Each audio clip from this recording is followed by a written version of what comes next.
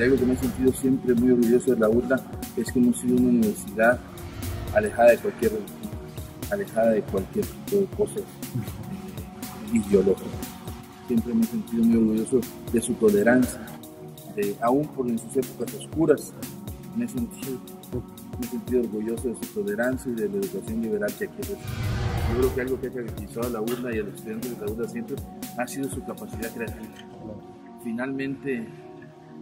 las herramientas que nos inculcan aquí, o que han inculcado aquí por generaciones de conocimiento divergente, creo que eso es algo invaluable que no cualquier universidad y creo que eso